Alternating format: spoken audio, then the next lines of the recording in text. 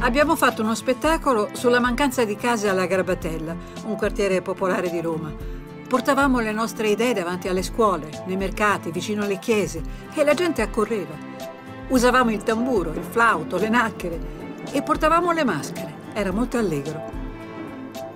Ne abbiamo fatti diversi contro la guerra nel Vietnam, fra cui uno a Piazza Navona, che è stato molto bello, molto festoso, con la partecipazione anche di altri gruppi che venivano da tutta Italia.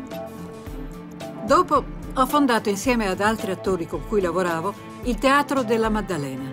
Era diretto da donne e si rivolgeva a un pubblico misto. Lì ho potuto trattare un tema a me caro, la condizione delle donne.